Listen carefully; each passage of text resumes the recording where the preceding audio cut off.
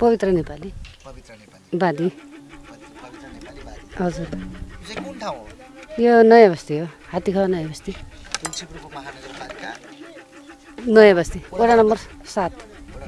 हजुर। मेरो लगभग बयालिस वर्ष हो। यो मादल बनाउनु पुस्ता नि हो हाम्रो अब बाउहरूले गराउने अनि त्यस पछाडि मैले सिकाएँ। मैले मात्र बनाउँछु। हजुर। श्रीमान? इन्डिया हुनुहुन्छ। अर्को बिहा गरे अर्को अन्तै हुनुहुन्छ। हजुर। सानैदेखि हजुर। कति मादल बनाउनुहुन्छ एक वर्षमा यहाँले खै अहिले सत्तरवटा बनाएको र हजुर। तिज दसैँ तिहार। हजुर। कति जति बनाउनुहुन्छ बिक्री। बढी भए त अब बनाइन्थ्यो के र हुन्न त्यति खासै। मादल बनाउनु के गर्नुपर्छ? के के चाहिन्छ यसको लागि? गोरुको छाला चाहियो बाख्राको छाला चाहियो अनि कालो किट ढुङ्गा त्यो चाहिन्छ। कालो कि ढुङ्गा भन्नाले यो ढुङ्गा कहाँबाट ल्याउनुपर्छ? यो ढुङ्गा हामी शिरखोलातिरबाट माथि। हजुर। खोजेर ल्याउँछौँ। गोरु मरेको हुन्छ छाला सार्कीहरूले काटेर दिन्छन् अनि हामीले यस्तो बनाउँछौँ। किनेर अँ किनेर। त्यो पनि किन्नु। यो यो डोरा बनाउनु व्रत बनाउनु। हजुर यो डो व्रत अनि यो अगाडिकोलाई यो मिरी। त्यो बनाउन पनि गोरुको छाला? गोरुको। यो व्रता व्रता। गोरुको छाला। अनि बाख्राको छाला चाहिँ कहाँ परेको? यो यसमा यो बिचको। ए त्यो बिचको सेतो चाहिँ बाख्राको छाला। हजुर। अनि यो के भन्नु पऱ्यो? यो कालोलाई के भन्नु पऱ्यो यो किट भनिदिन्छ क्या र? ढुङ्गा हुन्छ। के ढुङ्गा। हजुर। कालो हुन्छ ढुङ्गा पनि। त्यो ल्याएर पिस्छौँ अनि हुन्छ। त्यो चाहिँ खोलामा खोजेर यहीँ तुलसीबाटै पाइन्छ त्यो ढुङ्गा पनि? यो शिरखोला भन्ने माथितिर। सिरखोला भने तुलसीबाटै पर्छ त्यो? हजुर यता माथि। गोटी खोलातिर जानुपर्छ? यस तपाईँले यो काठ चाहिँ कहाँबाट ल्याउनुहुन्छ नि? काठ पश्चिमतिरबाट ल्याउँछौँ नि।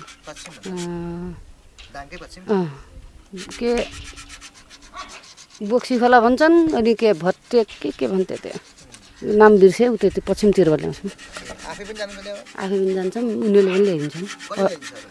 जसले यो खोल्छ उसले ल्याइदिन्छ। हजुर यो बिचमा मात्र पहल बनाइदिन्छन्। सब आफूले बनाउनुपर्छ। यो बुट्टा कुद्ने सबै आफ्नो यो बुट्टा टाँसेर सबै सम्पूर्ण आफू मिलाउनु पर्छ साइजहरू मिलाउने डिजाइन अँ डिजाइन निकाल्ने सब आफूले। हजुर। एउटाको पाँच पाँच सय हेरेर सात सय हजारसम्म पर्छ। यस्तोलाई सात सयसम्म बनाउनुहुन्छ। हजुर। र पुरानो कसैले बनाइदिनु ल्याइदिएको मादल पनि बना यो नयाँ मादल भन्नाले यो काठ चाहिँ अब रुख काट्न दिन्छन् अहिले? दिन्न। त्यही न रुख काट्नु नपाएर त अनि बाहिरबाट किन्नुपर्छ नि। बाहिरबाट कसले दिन्छ त? उता पश्चिमतिरबाट उनीहरूले आफ्नो निजी लगाएको हुन्छ नि उनीहरूले काट्छ नि बिक्री मानिन्छ खमारी भुर्कुर खिर्रो। तिन चिज। खमारी भुर्कुर खिर्रो। सबैभन्दा राम्रो कसको हुन्छ? खमारी। खमारीको। अब यो मादल बनाउँदाखेरि त्यो ढुङ्गा भन्नु त्यो कालो ढुङ्गा? हजुर। त्यो कालो ढुङ्गा चाहिँ के भुटेर बनाएको त्यो के के हो? पिसेर एकदम त्यसलाई थिच्नुपर्छ अनि अलिअलि मसिनो गराएर पिस्नुपर्छ? ढुङ्गाले ढुङ्गाले ढुङ्गा पिस्नु। ढुङ्गा थिचेर हजुर। तयार पारिन्छ। उम्, यसलाई पकाउनु गर्नु केही गर्नु पर्दैन पकाउनु त। अनि त्यसको लेप लगाउने खरी चाहिँ? त्यही भन्छ खरी। ए त्यही हो खरी। हजुर। ढुङ्गा पिसेर त्यो मसिनो बनाइन्छ अनि त्यही भन्छ खरी ठिक छ। एउटा यो नयाँ काठ ल्याएपछि यसलाई बनाउन चाहिँ कतिवटा नयाँ मादल बनाउन कति समय लाग्छ? एक दिन तात्न लाग्छ एक दिन मर्न लाग्यो एक दिन गोटी हाल्ने तिन दिन लाग्छ। भनाइ पो अब मान्छेले किन्दाखेरि सस्तो लिन्छन् तर तिन दिन लाग्छ। सस्तो भन्नु कति छ र यो मादल मूल्य कति कसरी कसरी बेच्नुहुन्छ एकदमै सस्तो भने कतिमा सबैभन्दा महँगो सस्तो भनेको तिन हजारबाट दुई हजारबाट माथि पाँच छ सातसम्म? दुई हजारदेखि हजुर। माथि पाँच छ सातसम्म सातसम्म तपाईँले सत्तरीवटा मादल बनायो यो पटक भन्नुभयो होइन? हजुर सबैभन्दा महँगो चाहिँ कति बेच्नु सबैभन्दा सस्तो कति बेच्नुभयो? आठ हजारसम्म बेचेको एउटा। यस्तो साइजको अलिकति ठुलो थियो योभन्दा।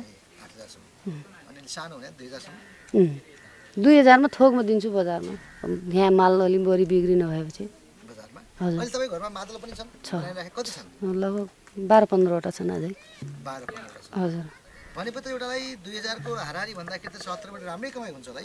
कमाइ त हुन्छ माल पनि किन्न पर्यो यिनी किन्न पर्छ खायो ठिकै हुन्छ।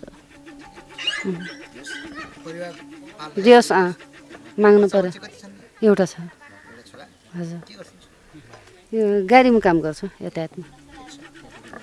भनेपछि अब अलिकता समस्या के छ तपाईँहरूलाई? जस्तो कि अब- तपाईँहरूको मादल बिक्री कतिको छ छैन अथवा घटिया छ बढिया छ के छ? घटेकै भनौँ अब समस्या छ नि त अब जस्तो हामीले मादल बनाउने सरकारले कुनै ठाउँ लगेर त्यो बिक्री गरिदिने ठाउँ कहीँ भइदिने भए हामीले धेरै गराउँथ्यौँ सुविधा हुन्थ्यो। अब मादल बिक्री हुन्न थोरै थोरै बना थोरै थोरै कट्छ के खानालाई ठिकै छ भनौँ। कमाउनु चाहिँ सकिन्न। तैपनि अझै जस्तो अब आधुनिक बाजाहरू आए अहिले हेर्ने बजारमा डेकहरू स्पिकर आए त्यसले तपाईँहरूलाई अलिकति समस्या पारेछ? पारेछ त्यसले त।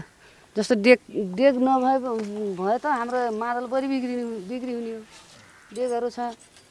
त्यसले गर्दाखेरि हाम्रो अब पहिला चाहिँ तिनवटा चारवटा मादल एउटा भैलोले खेल्थ्यो भने अहिले एउटा मादल भए भइहाल्छ। त्यो डेकको हुन्छ अनि एउटा मादल बजाए भयो। त्यो ठिक त होइन अब हाम्रो पुरानो संस्कृति बचाउनु पर्ने हो। अब आफ्नो आफ्नो सोच कम जामर हुन्छ त्यही सोच्छन् जसले पनि त्यही हजुर। हजुर। आफ्नै नेपाली मौलिक कला संस्कृति अलिकति ओझेला परेछ। हजुर हजुर। राज्यले के गर्दै सुन्ने चाहन्छ तपाईँहरूलाई? सरकारले तपाईँहरू जस्तो मान्छेलाई के गरिदिएपछि राम्रो हुन्छ जस्तो लाग्छ? अब सरकार भर पर्ने त होइन। सरकारले हामीले गरेको कामलाई अलिकति कहीँ अलिक बढी सप्लाई होस् भन्ने ठाउँहरू गराइदिएपछि हुन्थ्यो त्यति हो। हजुर। त्यही हो। काठ किन्न पाइयोस्। म लगभग पन्ध्र वर्षदेखि। हजुर। धेरै परेन चार पाँच क्लासमा चार पाँच क्लास हजुर मुख्य पेसा यो हो घर बनाउनु पनि काम गर्छु मिस्त्री काम। हजुर ठेक्का लाग्ने पनि गर्छ। हजुर।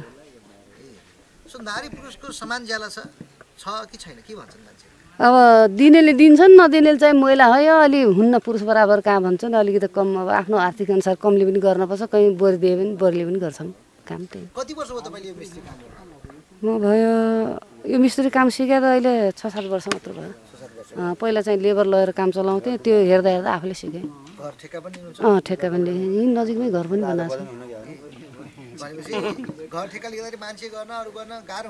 गाह्रो हुन्छ अब एक्लै छु त्यही भएर छोडेँ अहिले। अहिले यही काम गर्छु।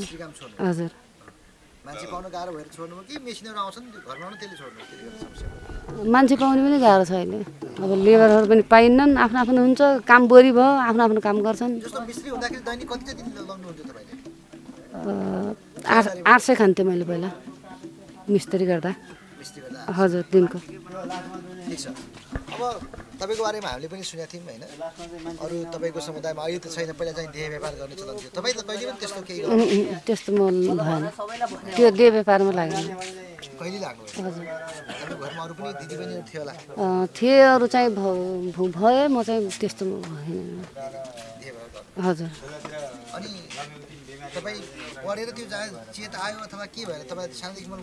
परे पनि समाजको चेत पनि भने वरपर साथीहरू अब थिए तिनीहरूको लागि तिनीहरूले तिनीहरूलाई हेर्दाखेरि मलाई लाज लाग्ने अब तेरो दिदीहरू यस्तो गर्छन् यो यताउता भन्दाखेरि मलाई आफै लाज लाग्ने त्यो त्यस कारणले मैले गरेन। दबाब त आयो तर गरेन मैले आफै मिहिनेत गरेँ काम गरेँ लेबर गरेँ कता हिँडेँ कता हिँडेँ काम दुनियाँ काम सिकेर गर्दाखेरि आज लास्ट टाइम मादलमा आएर हजुर। जस अहिले र माघमा काम गऱ्यो भने एक वर्ष चाहिँ बसेर खाम भने खानालाई मात्र। अरू केही छैन। बिरामी पऱ्यो यताउता भयो भने हुन्न। खानालाई चाहिँ छैन त्यस्तो। हुन्छ। अहिले पचास साठी हजार होला। हजुर माल सबै बि बिक्री गर्ने अनि मादल बनाएको गरेर। ज्यालामा मात्र तिस पैँतिस हजार छ। हजुर। पुग्छ। मेरो ज्वाइँ। हजुर।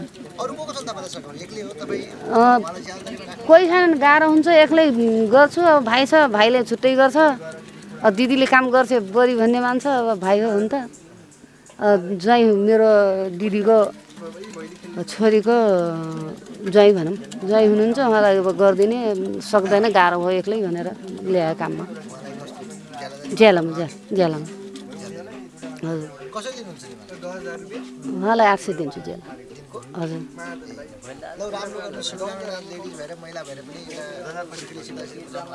हजुर हजुर हस् हस् धन्यवाद।